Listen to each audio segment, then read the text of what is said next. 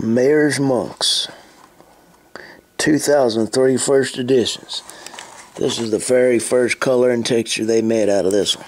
Ooh, look at that, that's kind of detailed right there. That little soul machine motor.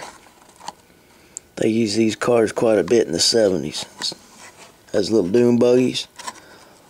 California, California uh, dune buggies. Meyers Manx, they say.